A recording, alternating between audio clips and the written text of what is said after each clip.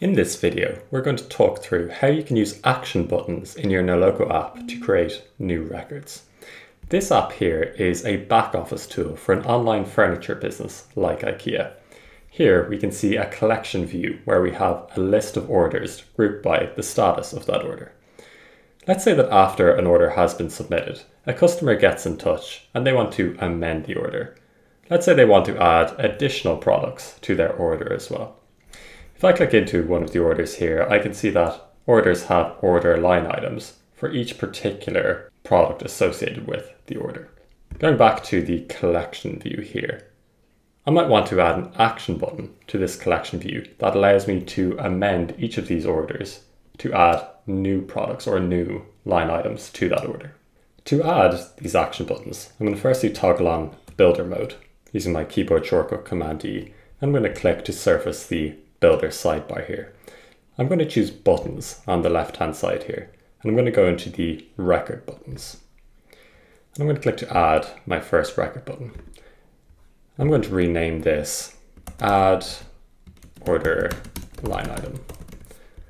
Then I'm going to go through the button settings here. So I can choose the button color here, default is fine, and I do want this to be a modal type action button. In other words, that a form will open for the user to complete when I click on the action button. I'm going to title this modal. So I'm going to say add order line items and description. So add, add a new line item to this order. Perfect. Then I'm going to add a success notification so the user knows when the action button has successfully worked. So I'm going to choose a success type notification here and I'm going to say that line item added is the notification text. I can also set visibility rules for which users should see this action button, but I'm just going to keep that as a default settings for now so that all users can see them. Now I'm ready to add specific actions to my action button. So I click add here then I get to choose what action should happen first. And in this instance, I want to create new order line items associated with this particular order. So I'm going to choose create a new record here. And as opposed to defaulting to create this record, as in another order record, what I want to do is create order line items. In other words, add a record to the associated order line items collection.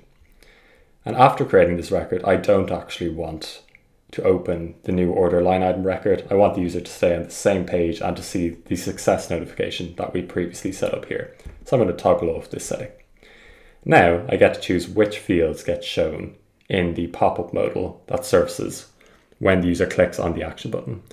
So I'm going to want the name field, which is the name of the order line item, the record ID I know is a required field, the quantity, the cost, and the product. And we know that the order field will already be populated as we're adding the line item to a particular order. So now I get to reorder these. So I'm going to put the record ID first. I'm going to put the product next.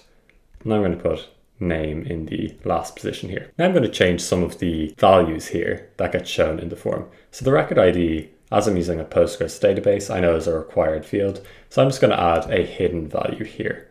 So I'm just going to say that I want the record ID to be unique. So I'm going to choose the record ID from the order. And then I'm also just going to add in the ID of the record here as well. So I just want that to be a unique value. The product, that's just going to be a drop down showing all the available products, the quantity they can fill out, and the cost as well.